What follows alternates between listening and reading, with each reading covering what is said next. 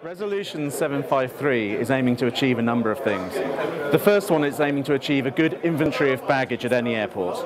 That's an essential component for tracking the bag and for understanding what you're actually working with. And then the second thing it's trying to achieve is to have every airline able to receive this data from the outstations so that we're able to see what's coming into our airports and be able to react more proactively, reducing short shipping as a result. Resolution 753 was published in 2013 and it becomes effective June 2018. On that date, we're expecting every airline to be able to track their bags at key critical points in their journey. That's the loading, the arrivals, and the transfer injects for the bag. I think the most important thing that the industry can do today to ensure adoption of 753 by 2018 is to have a good plan. Have a gap analysis. Where are you tracking today? Where are you failing to track?